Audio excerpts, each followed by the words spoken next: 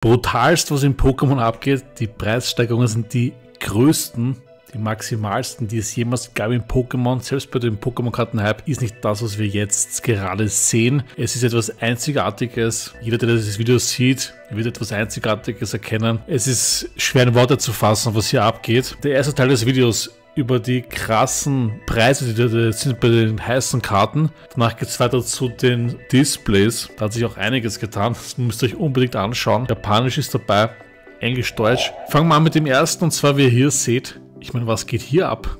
Das macht überhaupt keinen Sinn. Ja, dann wird den Hype ja, von Logan Paul, von, von Trimax und jetzt geht es hier nach oben. PSA 9, PSA 8, PSA 10 das explodiert richtig. Und das ist nicht die einzige Karte. Guckt mal hier, das ist eine PSA 10, sind wir bei 583, also das ist relativ low pop. Dann haben wir als nächster Gengar das gleiche Bild. Was passiert hier? Die Karte ist auf fast 2000 gestiegen. Ich meine, die Karte auf, auf 300. Was geht hier ab?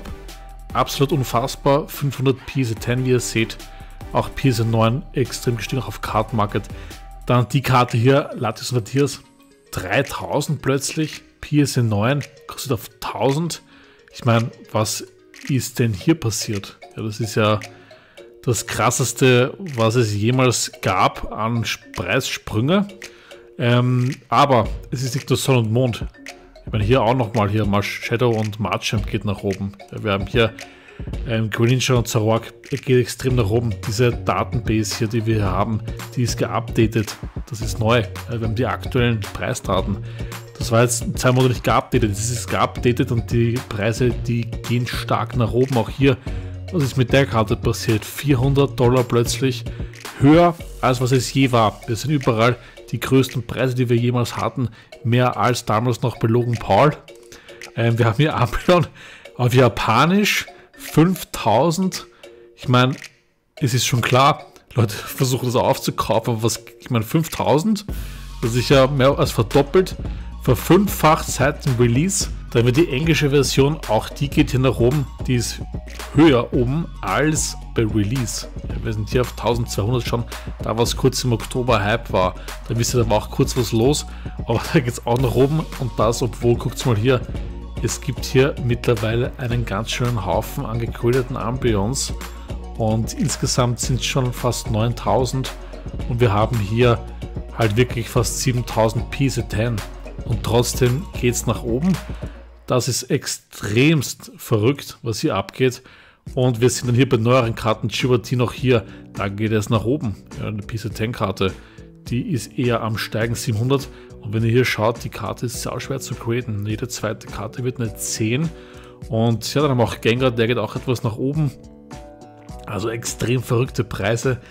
Hier, ich meine, die Displays haben schon durchgegangen. Sol und Mond Team Up auf 1500 plötzlich Unbroken Bounce. Was ist hier passiert? Diese Box geht plötzlich steil nach oben seit Anfang des Jahres. Ähm, Unified Minds plötzlich zahlt jemand 4000 für eine Box. Weltenwandel, absolute äh, Eskalation. Ähm, niemand weiß so richtig, was hier passiert. Ja, es ist schwer zu erklären. Wie soll man solche ähm, Preissprünge erklären? Ja, ich meine, eine Sache ist natürlich ja, wer ein bisschen genau drauf schaut, weiß, dass auf eBay, ja, da wird jetzt gerade ziemlich viel aufgekauft in Amerika, in Buyouts. Jetzt sind da im Gange, da gab es auch schon vor zwei Wochen eine Meldung für Ampel VMAX. Hat ein bekannter Shop gesagt, dass Buyouts sind und das ist halt der Grund natürlich. Und ich glaube halt wirklich, dass Leute hier sind, die haben so viel Geld. Wenn du eine Million hast und du spielst ein bisschen mit Pokémon-Karten, dann kannst du den ganzen Markt dominieren, wenn du da reingehst. Und ich glaube, so etwas passiert gerade in Pokémon. Und schauen wir jetzt mal ein bisschen die Displays an in Schwert und Schild. Ja, 200 nur auf Deutsch, über 300 auf Englisch.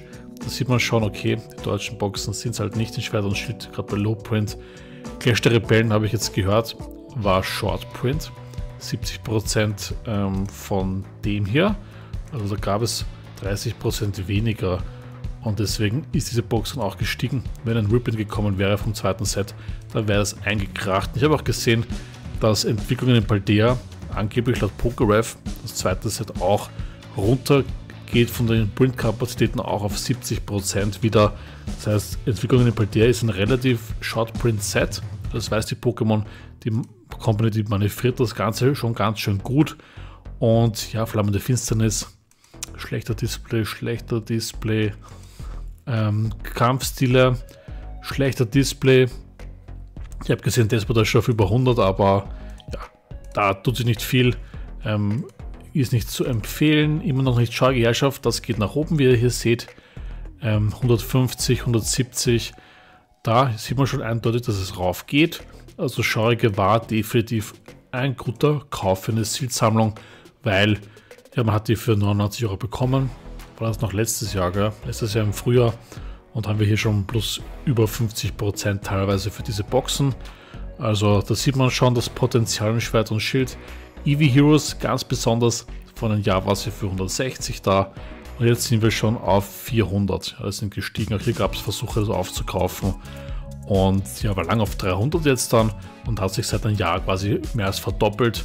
Ähm, die Chase-Karten, ähm, ja, was soll man sagen, wir haben hier 500, das Graziola, das Folipurpa sind wir bei 400 und da geht es halt schon steil nach oben und nach Taramaus hier vorangesehen.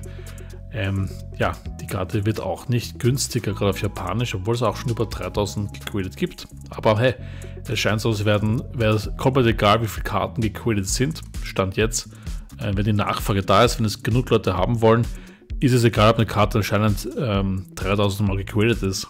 Ja. Wenn die 3000 Mal gegradet ist und es wollen 100.000 Leute die Karte haben, ist es besser, als wenn eine Karte 50 Mal existiert und drei Leute wollen es haben. Ja, das ist der Unterschied zwischen Modern und Vintage teilweise jetzt. Ähm, und deswegen gehen die Karten so auch hier nach oben, trotz diesem High-Pop. Wir haben hier das Felinara, auch sauteuer. Da sind wir auf 700 auf Kartenmarkt für eine rohe Kopie. Und der Trend hier, der lässt auch eindeutig zeigen, was hier gerade abgeht. Also schaut ziemlich krank aus. Diese Kurve. Und ja, dann ein Blue Sky Stream ging auch nach oben. Der Display ist mittlerweile auf 300, also fast wie Eevee Heroes. Auf Koreanisch natürlich ein bisschen günstiger. Und wenn wir sich das anschauen, mit dem Dragoran, wir haben hier das Rayquaza drinnen, das geht auch schon auf 400. Und natürlich dann hier ging einmal für 3000 weg ein Rayquaza auf Japanisch. 3000 kranker Scheiß. Ähm, 3000 äh, war sicher eine Pixel 10. Ähm, total verrückt für dieses Rayquaza. Ich weiß noch, wie das rauskam, war es auf 300.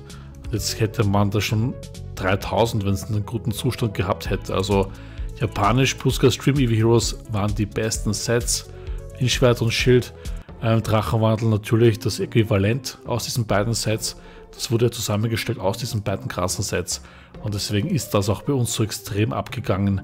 Ähm, Felinara und Graziola und Folipurpa, die schwächeln zurzeit.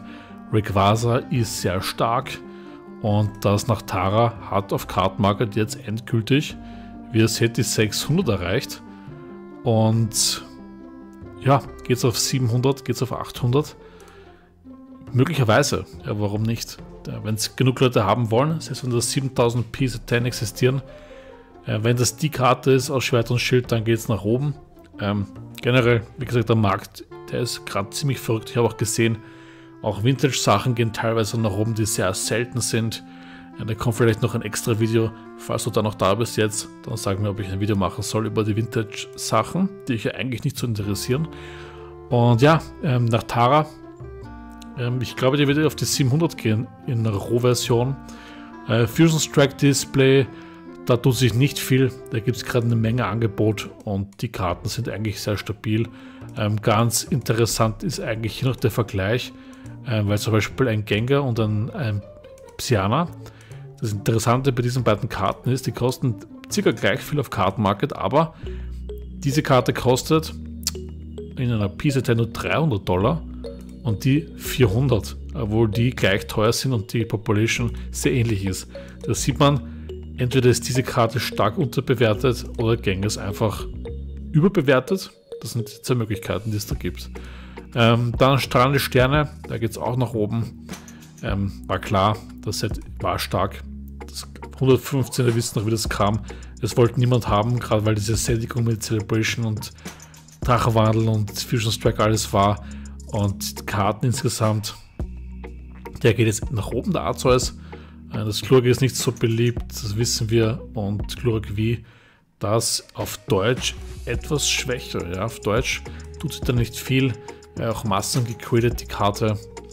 Ähm, aber ja, Strahlensterne-Display ähm, ist halt schon mittlerweile sauteuer. Also bis jetzt eigentlich, ja, ich würde sagen, Astralglanz ist eine gute Sache. Wenn man es noch günstig kriegt für 114 Euro oder so, äh, da kann man nichts falsch machen beim Display. Immer noch. Und die Kartenauswahl ist auch stark. Aber ja, da tut sich nicht viel bei den Karten. Ähm, das habe ich gesehen, ging ein bisschen nach oben, das macht schon mal. Und wir sind generell hier Lost Origin sau stark. Da geht es nach oben. Da sind wir jetzt schon auf 140. Also letzten zwei Wochen waren das ziemlich heftig, was hier, an, was hier passiert ist bei Lost Origin. Und wir haben vorhin gesehen, ganz am Anfang, dass Chivatina eine Karte ist, die nach oben geht. Ich könnte mir gut vorstellen, dass wir hier ähnliches wie bei Ambio und VMAX sehen, dass diese Karte hier noch eine Überraschung bringen könnte. Weil 700 Euro für eine 10 ist recht viel, aber ihr habt es gesehen, es geht immer weiter nach oben bei der Karte. Dann bin ich sehr gespannt, was da passiert in Zukunft. Silberne Sturmwinde, das schwächelt auch gerade. Ähm, da kam anscheinend wirklich sehr, sehr viel rein und die Leute haben nicht so Interesse, das zu kaufen, weil das Lugia halt ja nur die Hälfte kostet von Chivatina. Das ist halt dann auch nicht so spannend, gell, wenn die Chase-Karte dann hier sinkt, während es einfach bei Giordino nach oben geht. Ja, das ist der Unterschied dann. Da äh, kam es in ein Purpur, ja, was soll man dazu sagen, haben schon gesprochen, da tut sie nicht viel, keine Chase-Karten. Und dann natürlich, jetzt haben sich hier die Pullraten verändert und bei Entwicklungen in Paldea haben wir den Fall, ja, anscheinend ist Despot da die seltenste Karte, die Illustration Rare Karte. 1 zu 800, also sie haben bei diesem Set die Pullraten etwas adaptiert und Vermutlich werden hier jetzt teure Preise sein. Ja, Yono, die Enigmara, kann hier in diesem Set eine teure Karte werden, eventuell. Und das sollte man ja zur Kenntnis nehmen oder mal wissen, dass das so ist. Und dann haben wir schon Vorbestellungen. Obsidian Flammen 120. Ja, ähm, ist ein gutes Set, wird gut. Ähm, das da, wie gesagt, wird der Höhepunkt August dann im September Pokémon 151. Falls ihr das nicht gesehen habt, deutsche Release ist geleakt. Ich habe ein Video gemacht. Schaut es euch an. Das kam auch heute. Und das wird natürlich auch eine sehr spannende Sache hier bei dem Set, wo wir witzigerweise einfach keine Informationen haben bis jetzt. Ähm, und ich bin gespannt, ob das Pokémon 151 irgendwie ebenwürdig sein kann oder nicht. Like das Video, Freunde, lasst ein Abo da, schaut euch hier eines dieser Videos an und whoop, wir hören uns, Freunde.